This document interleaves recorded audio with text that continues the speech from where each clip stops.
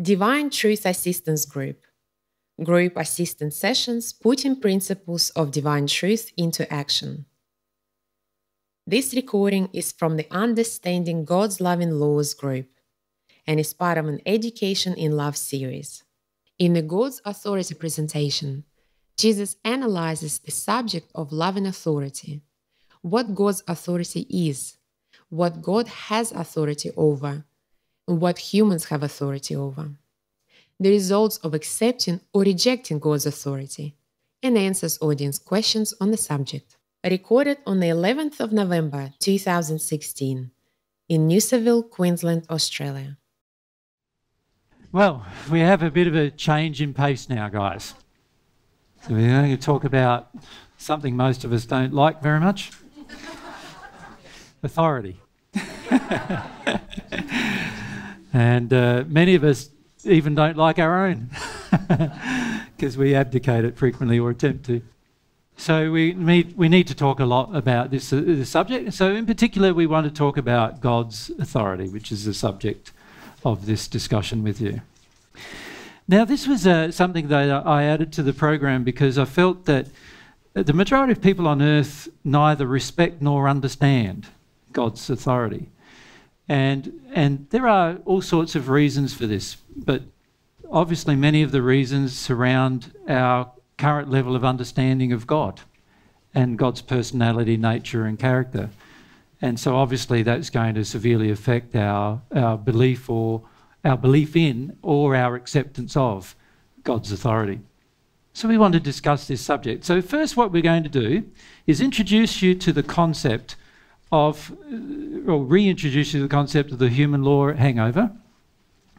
So, remember, the human law hangover was basically those who had authority in our lives, teachers, but in particular, parents or caregivers, teachers and other people like that, custodians, and lawmakers and enforcers as an adult. These people um, treat children a certain way, right? And as a result, children finish up growing up with this hangover about law. And that has a major influence on us as humans as to how we see authority. So, the human law hangover, part of the human law hangover is this issue of our, our feelings, our current state of feelings towards authority, and also how we see authority in our future as well. So it also affects our desires, our desire in the end to come under God's authority or not. Now, God, of course, uh, the fact that we all live and exist within God means that we are really all under God's authority in some way, right? It does not mean, however, that we can't create things that God has no part of. And in that way, it's a bit like a, you could say it's a bit like a bacteria living inside of a human. The bacteria can do things or have processes that involve things that live off the human, but the, the human can either expel that condition or not. So that the, in other words, the human can either have control over that or desire or, or choose not to. Now, God's the same. God chooses to not take any responsibility for most of, or any of your creations, in fact. He chooses that. That's part of the gift of free will, him choosing to not take authority or responsibility over your creations. And we'll talk about that in this in the outline of this talk. So we want to examine how we see authority, how we view it, and how we respond to it. What, what do we do with it? How do we treat it? Those are the things we'd like to examine here. Now, of course, we need to firstly define authority. We need to see what we mean by authority. And basically, this is what we mean it's the label given to the sum total of God's principles that all govern order. Right? So that's scope, hierarchy, governance, responsibility, and compensation all working in unison with each other. Right? So here we have authority is the la- it's just a label, a word given to the sum total of God's principles of scope, hierarchy, governance, responsibility, and compensation working in unison. That force assignment of authority to each soul that creates. Now, God being the great oversoul, obviously creates. Therefore, there's God, God Uh, keeps authority of certain things. But He gave you the gift of free will, so now you become a creator, and that means now you have authority over certain things, and God's gifted you this authority, and God will not take authority over certain things for you. He expects you to be a fully self responsible being who has authority over its own creations. Does that make sense? Quite, quite simply. Each soul is the highest authority over its creations as long as all of the constituent parts of its creation have been created by the soul. Now, what I mean by this is, is what I mean by that is this. What I mean by that is this. Okay. That's what I meant to say. So, so the soul, remember we're talking about the combined soul here, because that's the soul, isn't it? Of which you're one half, so you, you, you obviously got a half of that effect going out of you. We're saying here that everything you create, so let's say you're a girl and you create some things, you know, paintings, make up the house, yeah, create a house, babies. Do you create babies? Babies. Uh, I, I, think you, many of you have a distorted view of that, obviously. but go on. Shoes, clothes. all right, shoes. Man, you're all pretty basic in your physical there, aren't you? So well, well, there's a whole aspect here missing. anyway, we'll focus on the physical if that's where you want me to go. Okay. So anyway, we've created a whole heap of physical things there.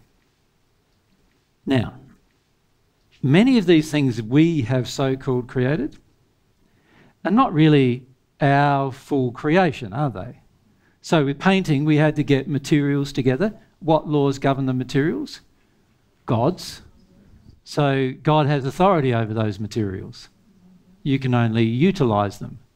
God has authority over. He doesn't have authority over your final painting because that's your creation but he has authority over the constituent elements of your painting because they are materials that he created.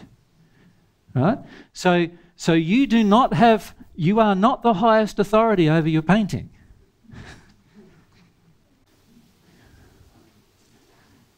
You're not. You, you believe you are, but you're not. Because the constituent elements of that painting were made by God, and so therefore God has a, quite a lot of authority over your painting what happens to your painting, how it degrades, how it survives, how long it survives, will all depend upon the material properties of the constituent materials that God created eh, that you used in your painting. Is that not true? So, doesn't God have quite a lot of control over it? He does. You see? Okay, let's go down to babies. Hmm. Do you have control over the soul of the baby? No, because God created that and only God created that. You didn't have any part in the soul creation of, of the baby's soul. So only God has authority over that. You don't have authority over it. So stop thinking you do, because you don't. All right? Do you have any authority over the spirit body or the physical body of the baby? No, because all of the laws that went into the creation of that child actually happened through the commingling process of the sperm and the egg, and that was all controlled. God created all those processes too. So, uh, is a baby your creation? In any sense? No, can't be on the list.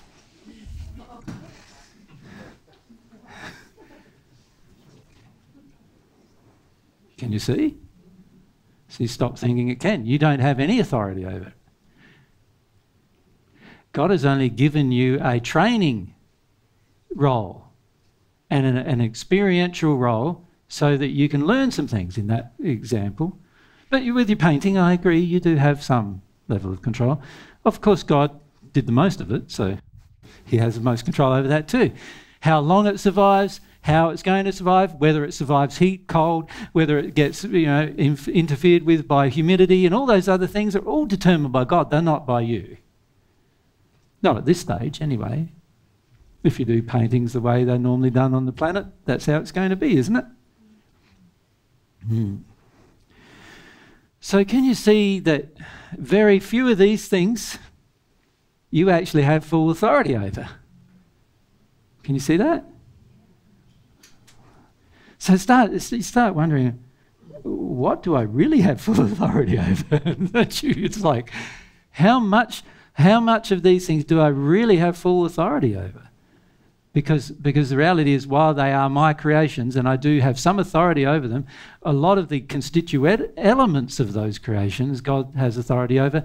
And in, oftentimes, God is operating in complete disharmony with your operation with what you create. So as soon as you create a painting, God's trying to destroy it. Is that not true? Of course it's true. Yeah. Particularly on earth. As soon as you create one, God's trying to destroy it. He's, because He's got laws that govern the degradation of matter. He's got law, and you're using dead matter. So what does this tell you about dead art? So-called art. Most of the people who do art on the planet are working with dead things, and therefore the, the art itself is going to decay and die and eventually be destroyed. Uh, isn't it? Of course. So, can you really say from God's perspective it's art? What kind of art does God do? Living art, living art. Everything's alive. Man, it's just amazing, isn't it? Living art. You have the capacity to do living art. You just don't think you do. So you don't. You use dead things to do the art. What, what do we do with a house? Same thing, isn't it? So, so whose authority governs what happens to this house now? Mostly it's going to be God's. And unless you're madly going around doing the opposite of what God's trying to do, so, so God's trying to destroy your house because it's all made of dead things. Is that not true?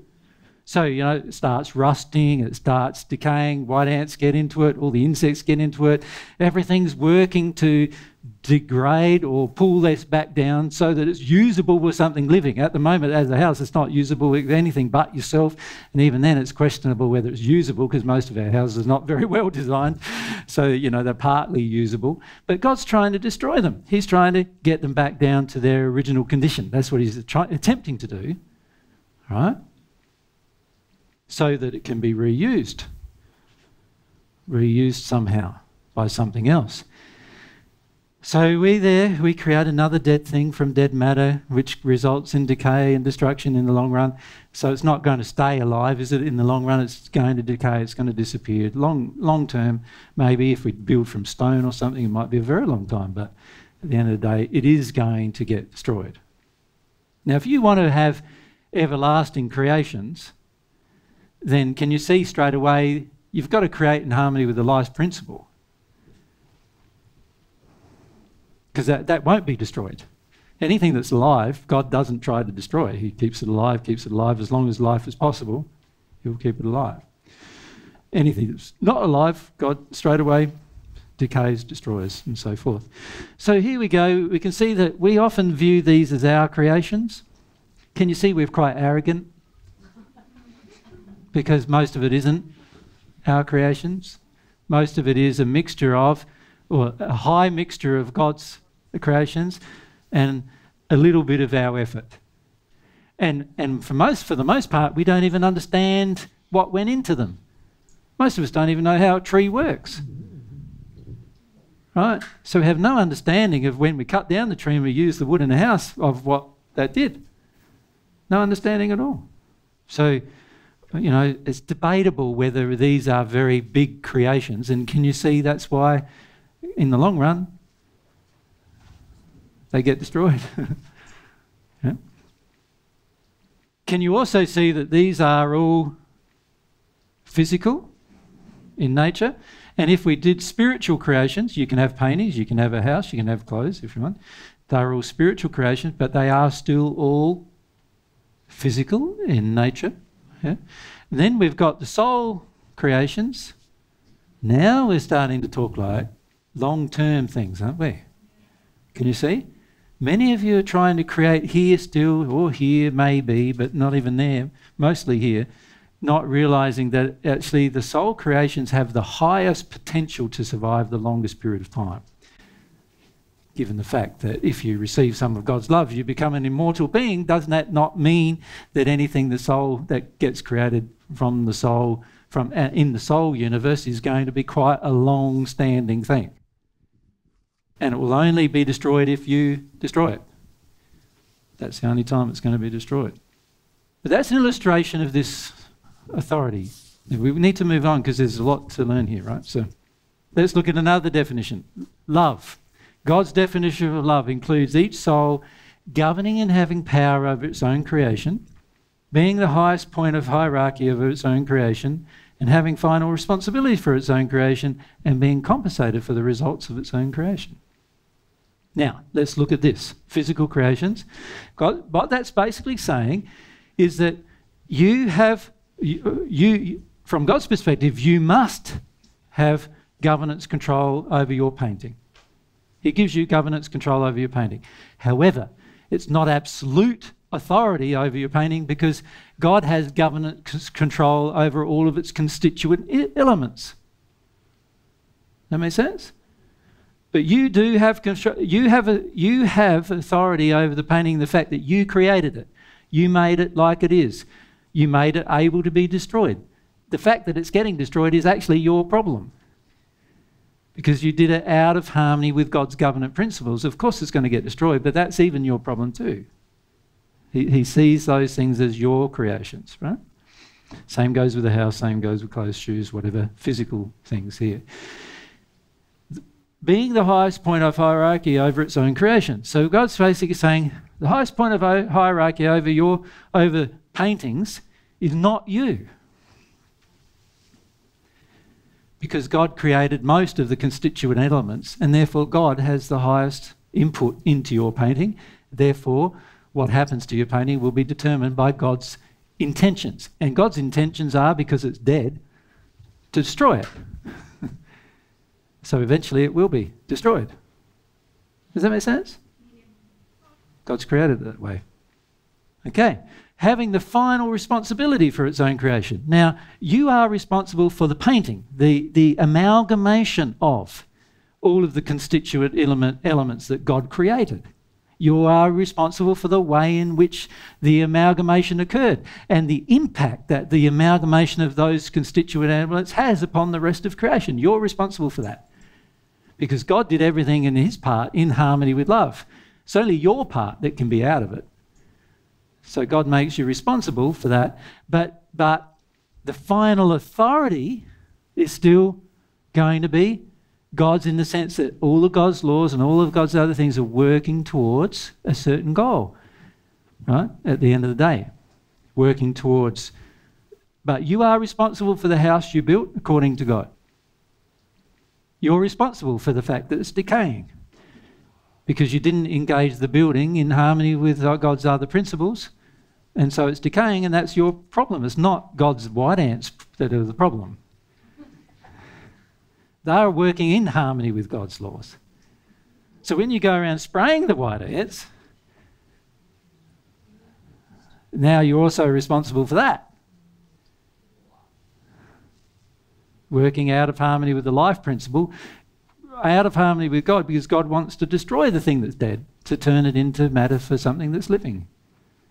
We're even responsible for that. We've got to learn to create ourselves, as humans, we've got to learn to create with more intelligence, don't we?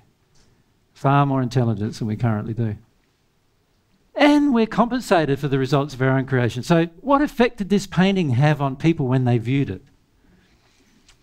One person went away and shot himself, let's say because it was so dark. The painting was so dark, and it was a like maybe it was a painting of a demon or something, and it just connected with him, and he and then the spirits could connect to him as a result. And all of a sudden, he got really you know overcoked by that by the spirit who who wanted him to die, and so he went off and shot himself. Now you're partially responsible for that from God's perspective. Does that make sense? You're not fully, not very much responsible, because obviously that's a lot to do with the person, but there is a part responsibility that's assigned through the law of compensation because of the effect it had on a person without your consideration. Yeah? Make sense? Tris, you'd like to ask? If we have Tris in here.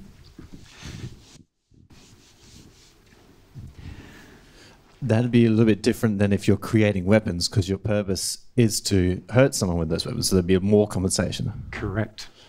So imagine what it's like for a scientist creating weapons of war. Whoa. You're now got huge compensatory effects because those weapons could kill, maim hundreds of thousands or millions of people, potentially, right? Whoa. That's pretty, that's pretty big responsibility, isn't it? Big compensatory effects there. Can you see how careful you've got to be with what you create?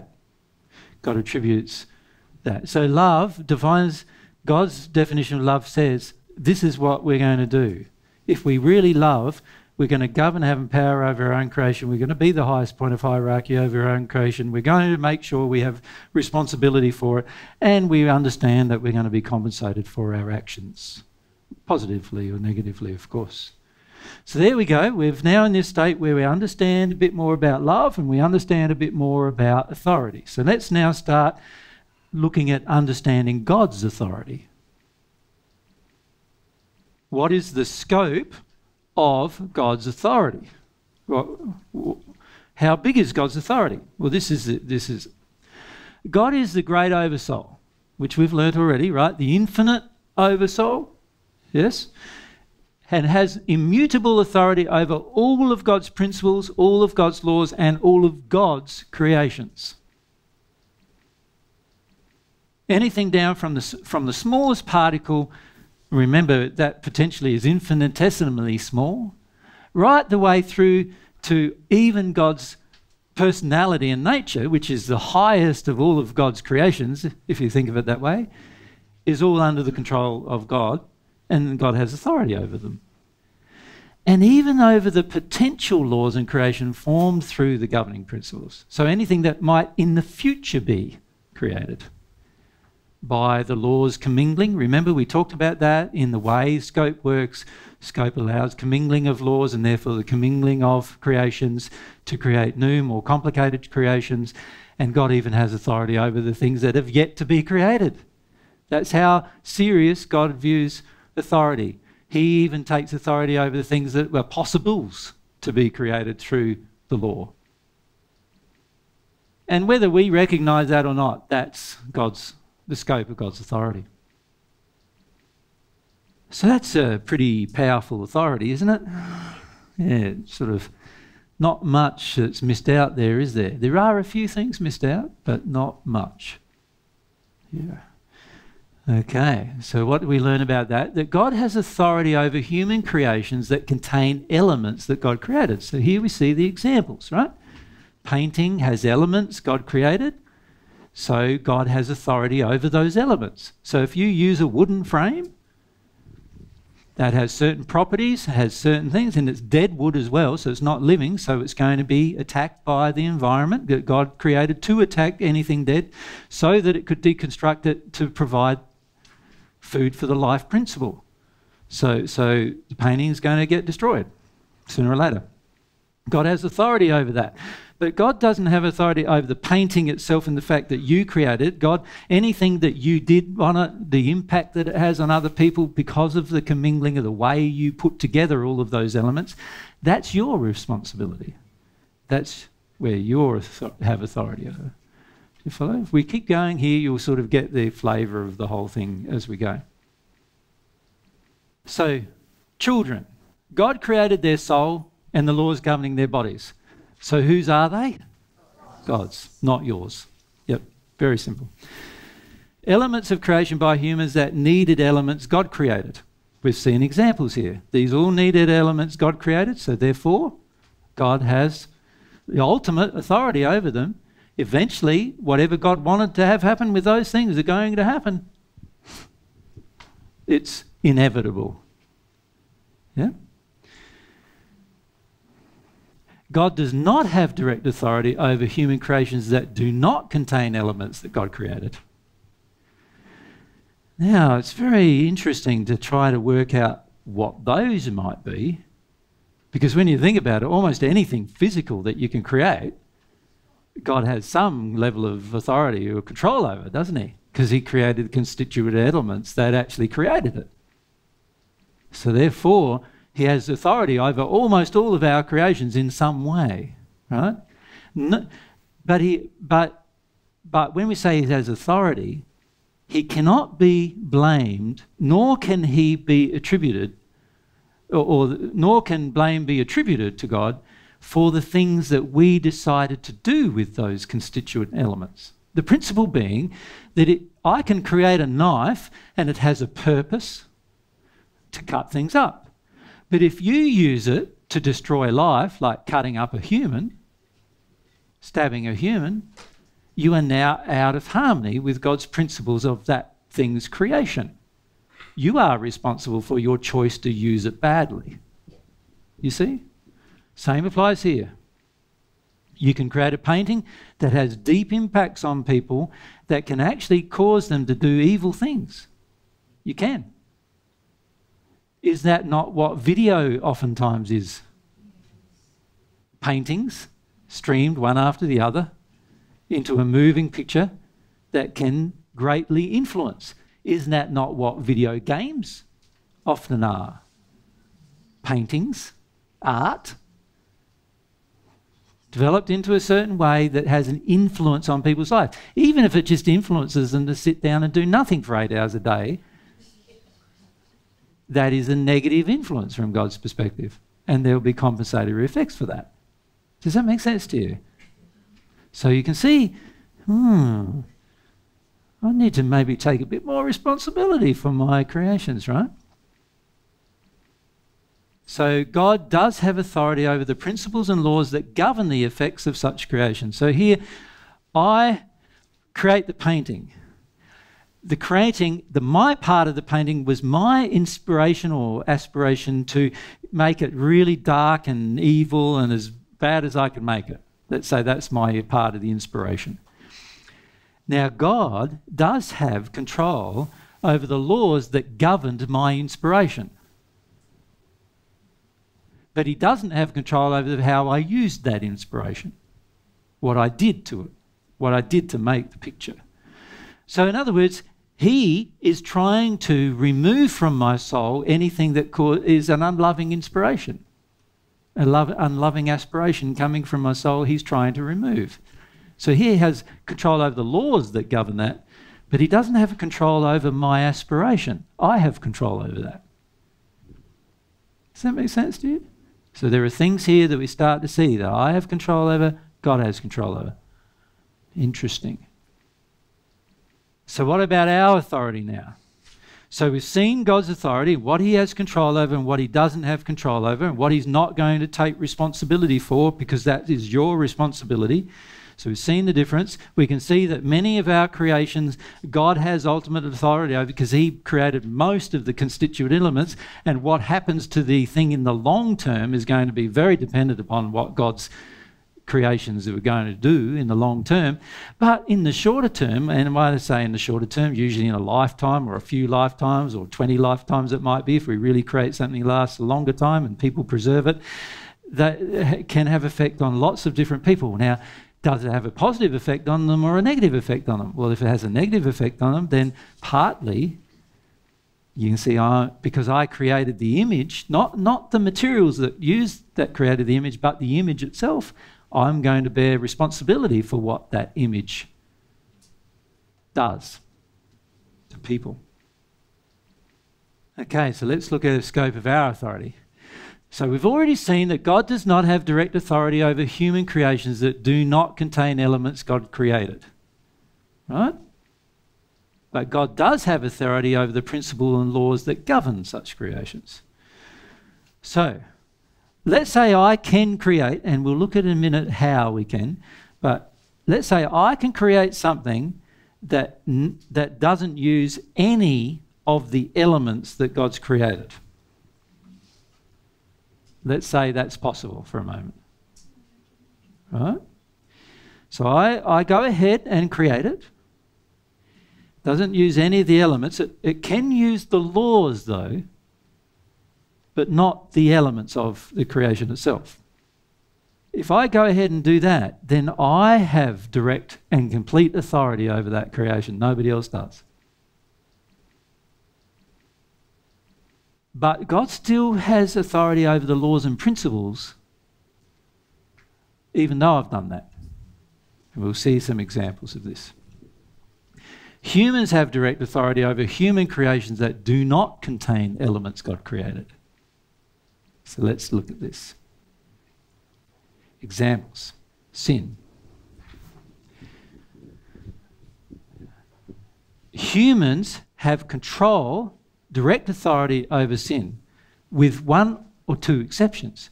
Sin creates emotions that flow within the soul. And God has direct authority how, how the emotions flow. So the sinful emotions you have, God has control over how they flow in the soul and how they affect other people. Right?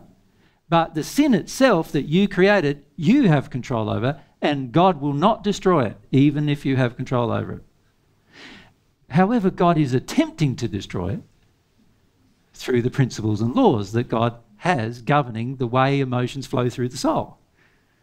Can you see the difference? So here we have uh, an aspect of something we can create that God will not destroy, but He's attempting to. Because the laws are all governed to help it be destroyed.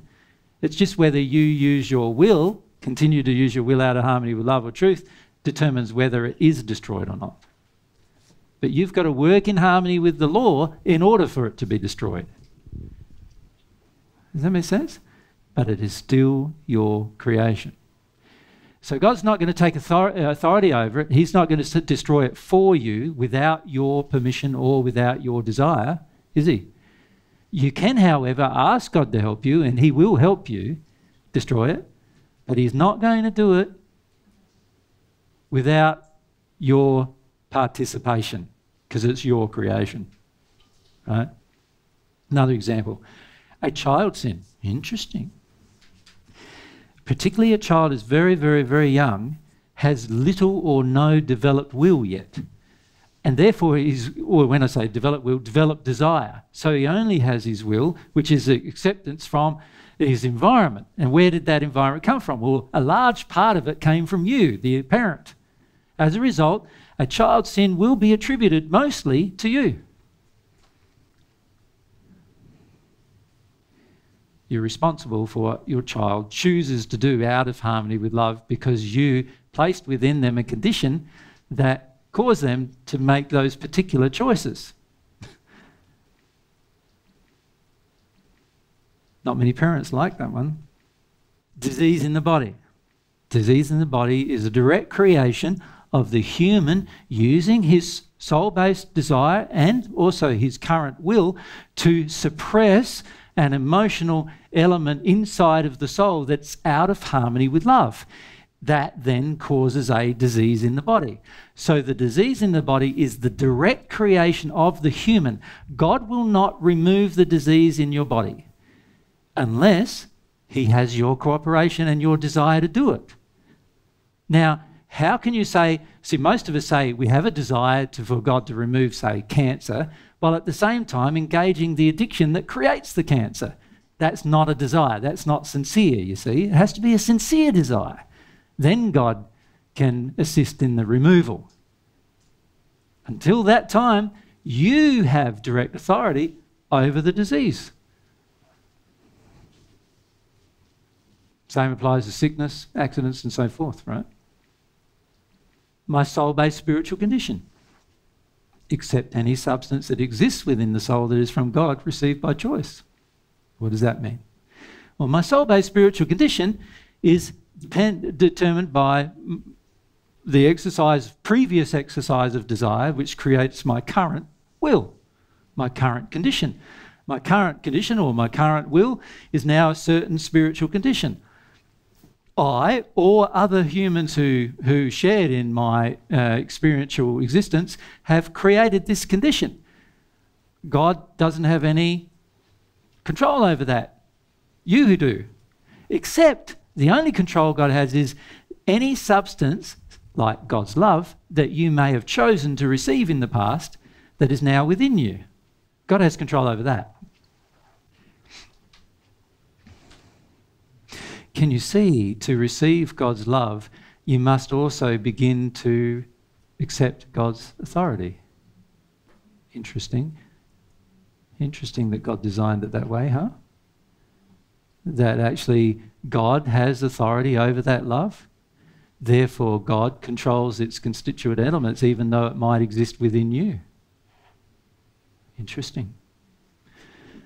Got to think about that for a while as to the effects of that, huh? So let's look at some more examples. My emotions out of harmony with God's principles. Any emotion I have that's out of harmony with God's principles is, is sin, is it not? Any one of those emotions, therefore, God is not going to erase from my soul. I have direct control over my emotions. God only has control over the laws that govern them the laws that allow them to flow in a certain way and how they flow and all those kind of things. God controlled that by having laws that govern the operation of your emotions. But the reality is, the actual emotion itself is your creation, therefore, under your control. Or it might have been the creation of your mum and dad in your childhood. Then it's under their control and your control. Now that you're an adult, it's definitely under your control my creations out of harmony with God's principles, such as creations that pollute and damage life. So, so let's put in here um, a vehicle. Now, a vehicle could be in harmony with God's creations or out of harmony with God's creations. Okay. Now, what are the most serious things to get in harmony with God's creations? Here's the soul, here's the spiritual, in other words, the metaphysical, and here's the physical. What do you think are going to be the most severe disharmonies? Given the power of each thing, isn't it these? Right. So, what I see happening for many of you is this you're so worried about getting your house right in, the way, in harmony with God, and getting your clothes right in harmony with God, and getting your vehicle right in harmony with God, and, and getting everything in harmony with God, except for these things. and these things are going to have the most detrimental effect and the most powerful effect on how you're dealt with by God's laws. Can you see the stupidity of it, really? We, we, we, should, we should not worry about the fact that you painted, you painted something that was out of dead material. Who gives, who gives the stuff at this point? You know it's going to get destroyed anyway in the long term. What matters is the soul based motivation that caused you to make this painting to be a series of images that caused the destruction of a person's soul. That matters more. Do you see? What matters is the soul based unloving attitude that needs to be corrected. This is where we need to put our first effort, not our last effort. So when some of you ask me questions about, oh, you know, the even right down to the veganism thing and the eating what you eat and what you drink and what you wear and what, you know, how you live your life and whether you're going to do this or that in your life and how unloving is this and how unloving is that, I'm going, man, what about your addiction to ask me? That, that's worse than all of those things put together. Can you see you don't see the priority? Because we're so, we're so thinking that the physical matters, and we forget that what matters to God is the soul, the heart based condition. So, so, yes, in the end, we will sort out these things in our life. But can you see it is the it is the soul that needs to be sorted out first. And, and yet, most of you are asking questions sorting out this first. And when I ask you for a list of your creations, what do you list? You list these. And, and what, what should have you listed? Anger, addiction, sin, fear, control, judgment Can you see? Now, this is where we don't understand, you see? We don't understand. We, we, we, we're thinking that they don't matter. We don't even think of them as creations, do we? Don't even consider them as creations. And these things, what do we do? We go, there's our creations, there's our creations, there's our creations. And the irony is, God's got control of most of these creations. They're going to get destroyed at some point. Does God have control of these? No. How are they going to get destroyed? By us having to do something, right? some, some desire has to be exercised to destroy them, otherwise, they're going to remain. Can you see the, the issue? Our priorities are way out of whack, right? Aren't they?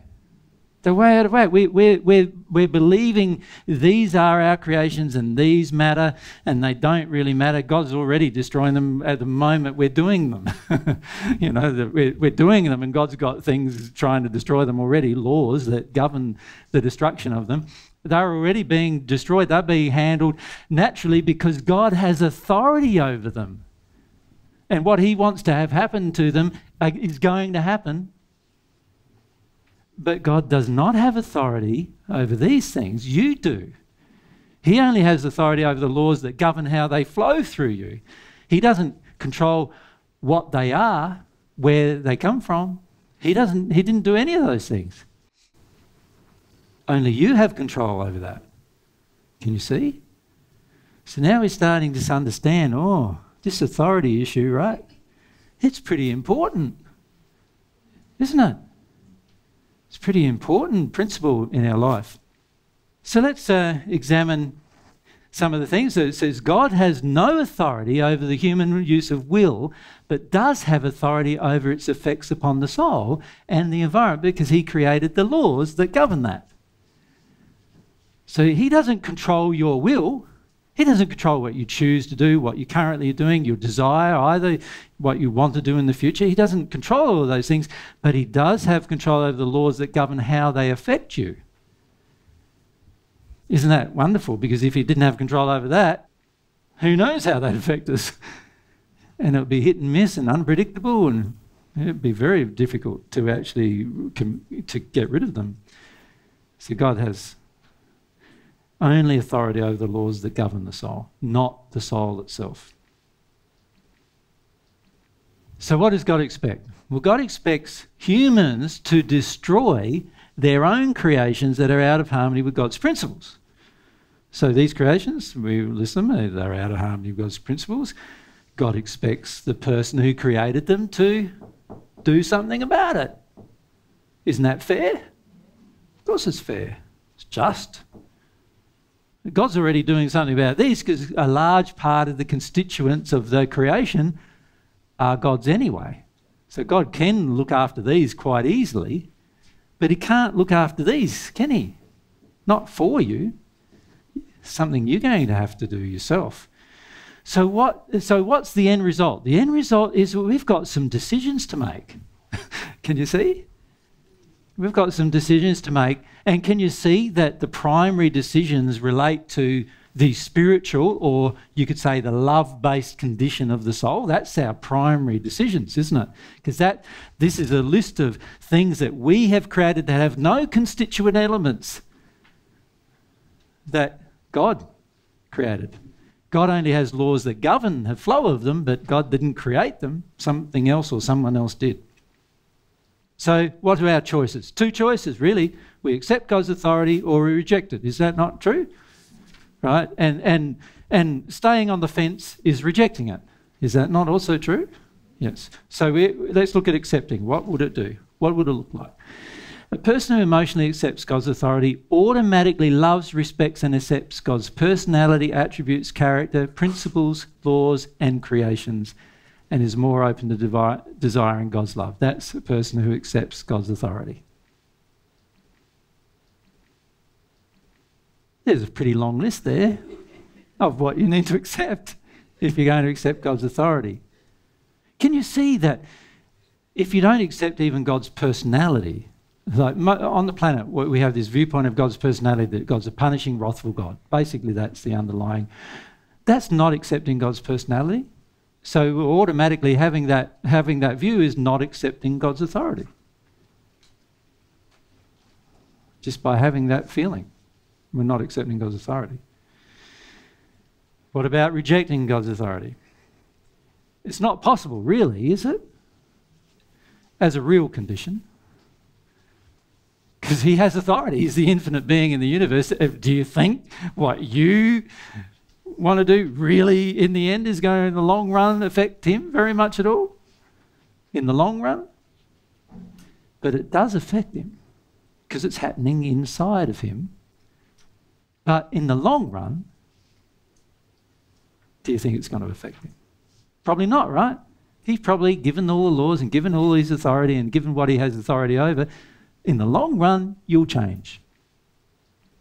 It's just how resistive you are in between time, how much pain you want to go through before then. It's the choice to believe, feel, and act as if God's authority does not exist. That's what rejecting God's authority really is the choice to believe, feel, and act as if it doesn't exist. It's not that God's authority doesn't exist, because it always does. It's your choice to believe and act as if it doesn't. And can you see we do that a lot, right? Even in this list, you were doing it. You say, I saying, what are your creations? You go paintings, house, vehicle, baby even was in there, right? Interestingly enough, babies was there, right? And babies are not even anything that you created. Like, there's not even on the list that you believed it was. That's your imagination, you see? But, but the things that you did have a part in creating, like shoes, clothes, vehicle, and all those physical things, can you see? We chose to feel like they were our creations. But that's not realistic. All the constituent elements of those creations all came from God. How can we call them our creations? We could say, yeah, I, I, dreamed up something and then I got God's thing of this and God's thing of that and God's this and God's that and God's this and God's that and all of the God's things I decided to put together in this way and that's the creation. So who can take the main credit for it? Well, no, that's, that, that's not it, eh? That's not how we see it. We say, I'm the person that should take credit for that. Don't we? It's fun, so funny. We're trying to take credit for the things that are mostly God's, and the things that are mostly ours, or all ours, what do we do? Not me. Not me. I didn't do that. I didn't do that. Somebody else did that. Mummy did that. Daddy did that. I'm not responsible for that. That's in me, but I'm not responsible. I've got control of my soul. Maybe I haven't. Oh, no, maybe I haven't. God created a flawed soul. Yeah, that's all God's fault too. That's God's fault. That's God's fault. Isn't that what we do? That's our problem. Because we're, we're not seeing the reality. The reality is these creations are ours. And the reality also is that God's not going to take authority over them He's not going to destroy them for us. He's not going to send the Saviour to get rid of them for us either. He's not. We're going to have to engage a process to get rid of them. Now, God's willing to help you get rid of them, but He's not going to get rid of them for you. Alan?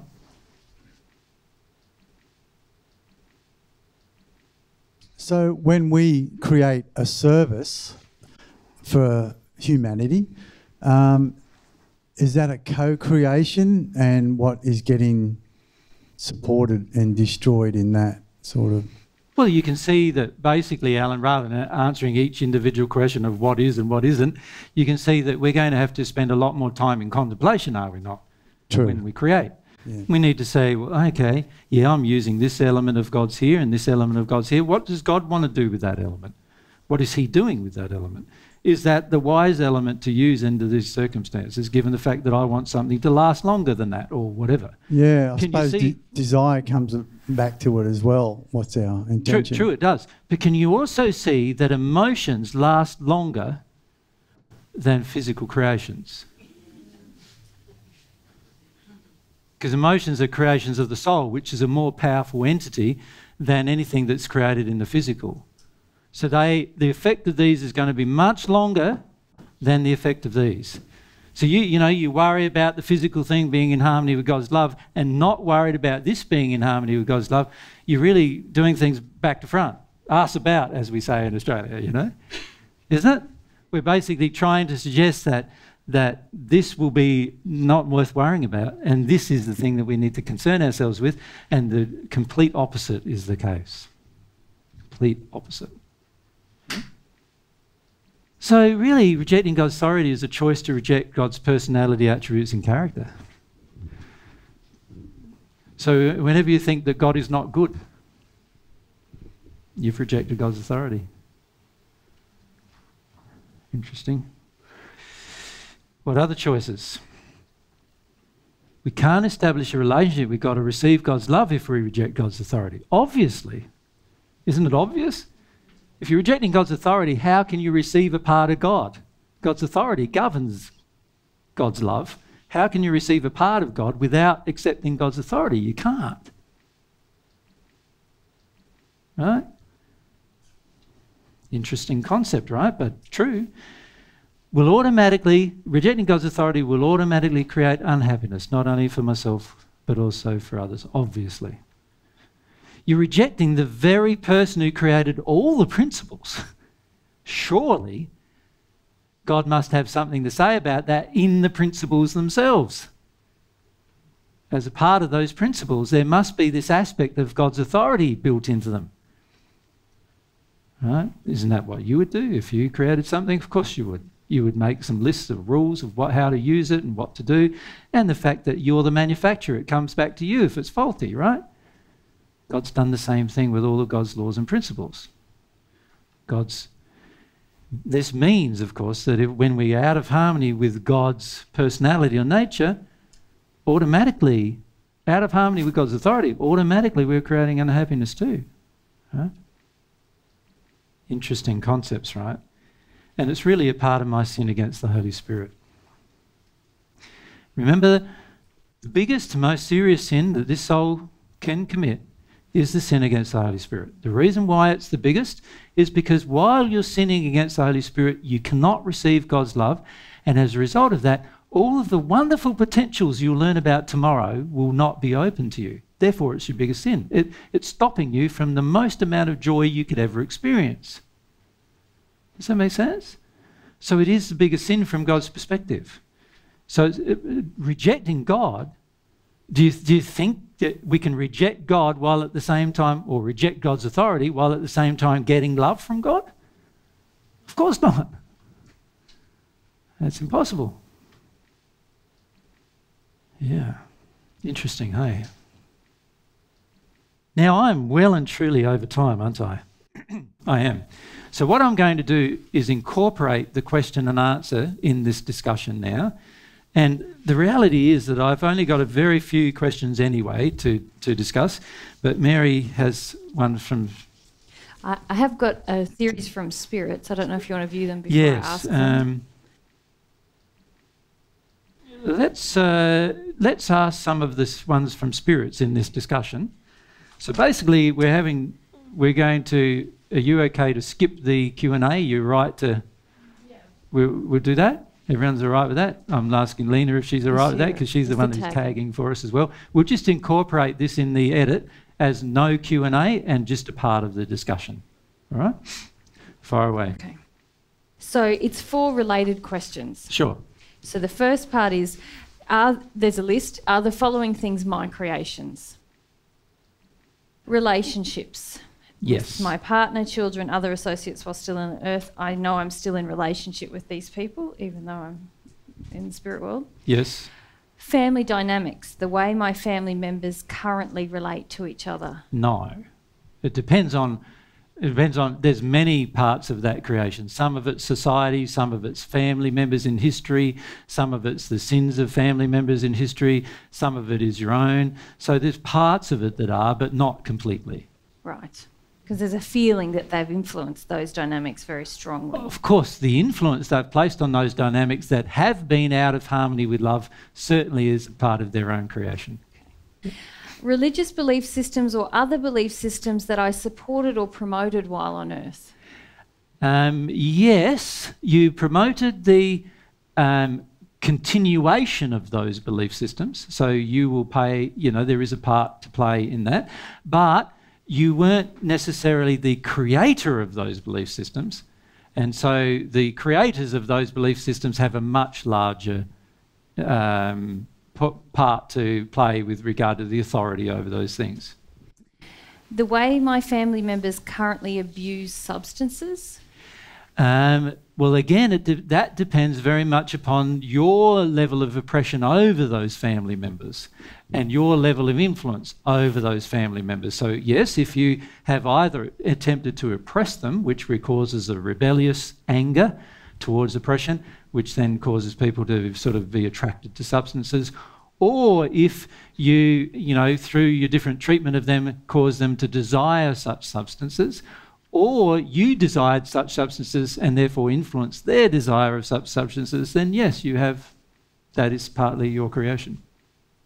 Okay, and the fo- the last item you answered physical items. So then the the three follow up questions to that are, fire. Am I responsible to destroy these things? How can I do this from where I am now because they still exist on earth? Yes. And won't God's laws and love destroy these things for me? Won't God take care of my family and ensure their happiness? Well, very, these are very good questions, right? Because the reality is that yes, God's laws are attempting to destroy anything that we have created that's out of harmony with God's laws. That is true. However, there's a method or a mechanism by which these things are destroyed. And if the destruction of these things would involve God overcoming our will or our desire in any way, then God can't do it. We have to do it. You want to? They want to say? Yeah, they want to say then. So my will was involved in all of those things. Correct. That I listed. Yes. But now I'm not there. Ah. How do I remove that from my family? Ah, this is the mechanism of repentance. You see, there's a mechanism, mechanisms that God has provided for things that we created, which we now see that we have very little control over. There's a mechanism that God has provided to allow us to begin destroying these things. And repentance is a part of that mechanism. So there's a, there are scientific mechanisms that God has provided to help us destroy things that we no longer have physical control over. But that's a, another very complicated discussion, obviously. Yeah. Yeah. Good questions. Thank you. Thank you. Yeah. Um, Felix, just straight behind Mary.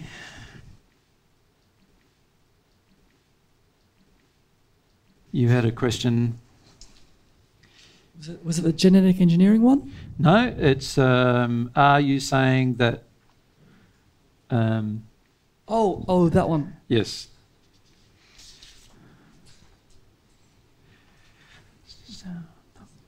Oh, oh. So basically, um, my feeling to reject God's authority and anything like that is one of the most important things to work on, um, as important as, say, the faith, emotion, truth, uh, action thing in the first group. It is Okay. You're dead right. It is. So it have the most um, beneficial effects and most. Uh, it's like a shortcut, even. Yes, in a lot of ways, it is. If you address the emotional reasons why you have a tendency to reject God's authority, you will deal with many blockages towards God as a result. And as a result of dealing with blockages towards God, that will open your heart quite rapidly to accepting God's authority. And we have many, many reasons why we want to reject God's authority, but they're all emotional injuries that have the most powerful negative influence over our life because while we reject God's authority, we can't accept God's love. So obviously, it's going to have a large impact on us if we can do that. Okay. Um, can I ask a question about that, or sure. do you want to move on? Sure, okay. you can. Um, in the very first, the very start of the first assistance group, you talked about um, how we project, you know, what our our experience with our parents onto God. Yes, we do. Is this what you're really talking about here? Exactly. You Okay. can see how a lot of this is linked, right? Yeah. What we're doing, what we're actually doing is blaming God for what we don't want to blame our parents for. That's really what we're doing. And, and the pro- problem with that is we want to still get, see, it's very interesting to look at the analysis of that because here we have a parent, right? Here we have us, let's say we're still the child, and oftentimes in our own head, we're often smaller than our parent, even when we're an adult what we're doing is we don't want to blame our parent for what they've actually done because our parent may no longer love us, right? Isn't that true? That's why we do it. We, we still want our parent at some point in the future to love us. Is that not true? And so we blame our parent, and that, that then means we, uh, we don't blame our parent when we should, but we don't blame our parent, and that leaves our heart open to keep waiting for love from them, doesn't it? Do you see that? It actually has the effect of opening our heart to them, waiting for them to love us. That's, that's what we, that's, it's, that's the reason why we don't blame our parents for what they've done. Because our heart wants to stay open to them eventually loving us at some point. You follow me? The irony is, here's God who is capable of loving us and wants to love us, and instead we put this blame on God. Now, when we blame someone, we close our heart to them. So, can you see what we're doing? We're closing our heart to the very person who can love us and leaving our heart open to the very person who hurt us at the same time. How can you see? It's like, oh, wow, that's pretty amazing thought when you think about it. We're blaming God for things that our parents did so that we don't have to blame our parents. And why do we want that? It's because we still want love from our parents, but we don't care about whether we get love from God or not. So we blame God instead. We don't care about whether we receive love from God. So what we do is we blame God because it doesn't matter to us that we're not receiving love from God. The irony is, receiving love from God is the very thing that will transform your life, totally change it, totally influence your rest of your life in a positive manner. And we're blaming the very person who can give us the most benefit, while at the same time staying open to probably the very person who caused the most problems.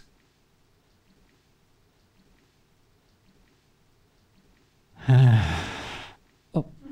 You can Uh, ask. Um, so you're saying that then that um, part big, a big part of that is is both recognizing that my parent didn't didn't love me in whatever situations, but also um, f- like emotionally uh, deciding finally that I, I don't need I, I to give up love from getting acceptance from dad or stuff. Yeah, can you see if I have to give up receiving love from my earthly father or earthly mother, I'll probably have to go through a fair bit of grief, right? Yeah. That I don't want to feel.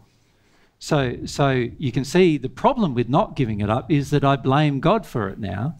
I'm pushing all that onto God, and now I can't receive love from the person who wants to give it.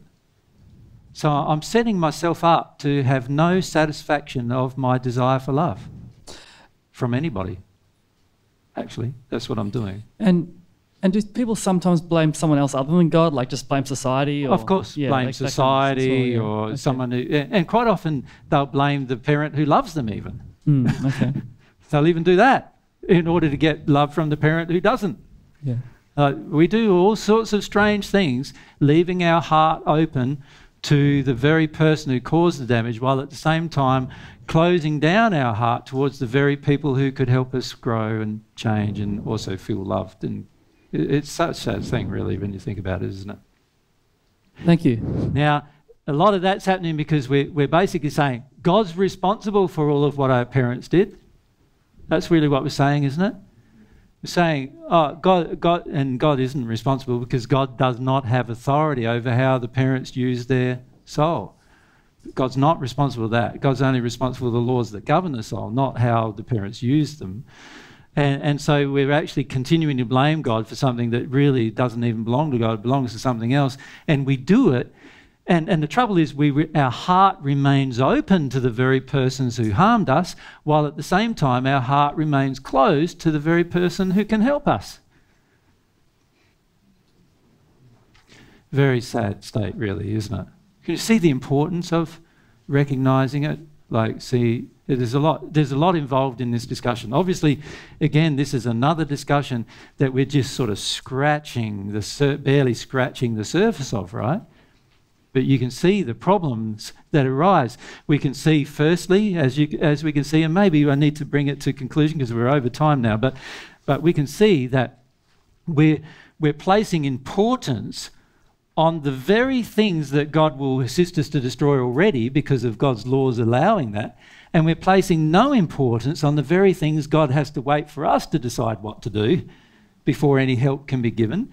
And then on top of that, we blame God for the very things that our parents have done, and we leave our heart open to the parents and we don't leave our heart open to God. And, and, the, and then we wonder why we're not feeling loved. Just because our hearts are closed towards the very person who can supply that love because we want to remain open to the other people who didn't. And we're not prepared to emotionally grieve the loss of a parent who loves us, really. We're not prepared to just grieve that and let it go. And then we could accept the real parent and accept how that real parent feels about us. The feelings that come from God are overwhelmingly beautiful when you let yourself feel them. Right? But the majority of us do not let ourselves feel them. We don't. Because we want to remain open to getting love to the very people, getting love from the very people who did not love us. In other words, we are basically remaining open to our parents having authority over us. So, this is the irony. We're, rebelling against God's authority, thinking we're some kind of independent being. But the reality is, we're giving away authority to the very people who misused it. I can't answer any more questions, Felix. Does that make sense to you? Can you see the problems? So, can you see the choices we're making are very, uh, like, they're, they're really quite insidious in some ways, aren't they? In terms of stopping our development, stopping our growth, and, and badly influencing where we place our priorities and therefore where our desire lay. Right? You can see that if we understood completely what we were creating, and we would be going, look, fair enough, all of these things are physical. What I do physically doesn't really matter as much as what I do spiritually or what I do with love. What I do with love matters the most. Right? These are the permanent creations, positively and negatively, by the way. we could put in here a whole heap of positive things. So every single act of goodness that you engage is adds to your soul and it's there permanently because God doesn't want to destroy that. So you can actually do an act of goodness today and in a thousand years' time people will still be benefiting on the earth from it. Because God doesn't want to destroy that. God's all God's laws support the existence of that act of goodness. Do you see that? So, so here's all the things that are out of harmony love and god wants to god wants to get, get rid of them he's created a whole heap of laws to get rid of them but you have to engage those laws to get rid of them but god also has allowed you to create good things in this column the, under the soul things that where you act in harmony with love act in harmony with pure desire act in harmony with truth every act taken in that place will last forever literally It'll last as long as your soul lasts, and if you receive some of God's love, you're immortal. That means you last forever. So that means that every act that you took in harmony with love will last forever. The effects of it will be felt forever. Yeah, that's a remarkable thing to think about. Instead of worrying about a painting, you know, they just like, burp, burp, burp, and God destroys it in a year, in, in 10 years or 100 years' time. How about painting something in the soul and, and having it last forever? How about you become that kind of artist? That would be great, wouldn't it? And this is where we need to see our priorities and how God's authority is acting upon the system. Mm. So, hopefully, this discussion has expanded your mind a bit with regard to things, right? So, when you first looked at the discussion in, the, in your outline, you probably thought, authority, what did you put that in there for? What's going on there? And now, hopefully, you can see the importance of it and also how it affects your creations and what it means about what you create and what things will be naturally destroyed, things that you don't have to worry about as much if they're in or out of harmony with love, when compared with things that you do need to concern yourself quite seriously about because these are creations that either last forever or and, and, and even if they're bad creations, they will last until you destroy them, until you decide to do something about them. Now, there are mechanisms by which God has to help you destroy them, which is fortunate given the fact that many of these creations have ongoing effects into other lives and other people's existences that without God's help, we would never be able to get raise the result. So it's very fortunate that God has allowed these laws, and you'll learn some of them tomorrow. But it's very fortunate God has done that because if God didn't do that, imagine trying to destroy. Imagine you create a religion you know, like the Muslim faith. You create the Muslim faith 600 or whatever happened, 400. I can't remember the exact year that Muhammad, 600 something, was it? Five? 620 or something, yeah. I forget exact. But, but anyway, so you create the Muslim faith. It's got a whole lot of tenets that also seems to justify violence under certain conditions. By the way, a lot of what's in the Bible does exactly the same thing. So the Torah could be fit into this exact the same exact same thing. Like so, Moses, who actually assisted through spirit inspiration the creation of the Torah, which also has exactly the same principles that many of the Muslim principles contain, right? Both those people. Imagine years later, people are still acting in harmony with eye for an eye, tooth for a tooth. Imagine how many people have died acting in harmony with these, these principles, right? Now, you're now in the spirit world. How are you going to correct all that? You can't. Unless you engage something that God has authority over, which is some of God's principles we'll learn tomorrow, you will not be able to, to negate the effect of what you created. It'd be a disaster. Your soul would be remain in condition, terrible condition for long periods of time unless there was some process that you could engage that reverses this. Right? And this is why it's so important to see firstly, don't create what you can't destroy, is a good principle to remember, isn't it? Don't create what is so difficult to destroy that takes years and years to destroy. And remember, everything in your soul that's out of harmony love takes a lot longer to destroy than these things because they have effects on other people that then might take years and years and years to destroy friends of mine 2,000 years ago involved in certain behaviour, and there's still people in the hills today that have are acting the way they're acting because of the effects of what those friends decided to do. Now, if God did not have the mechanisms we learn tomorrow, that would be those people who are my friends would still be in the hells today. So, fortunately, God's created some mechanisms for us to undo these things but we need to understand this is what we have authority over. And God cannot help us with them unless we want that assistance. Okay, so we'll leave our discussion there. Hopefully, you've learnt something from that one. Yep. Or could we say that you've probably learnt something from every discussion? Is that possible? yeah, that's good. All right, so tomorrow we will have a discussion about those principles, the ones that help us to deal with this, deal with this creation of ours that we have authority over. And then we'll look at the transformation principles, which are just wonderful principles to discuss with you. Very powerful, the most powerful principles in the universe, and just wonderful to be able to have some of those discussions with you tomorrow.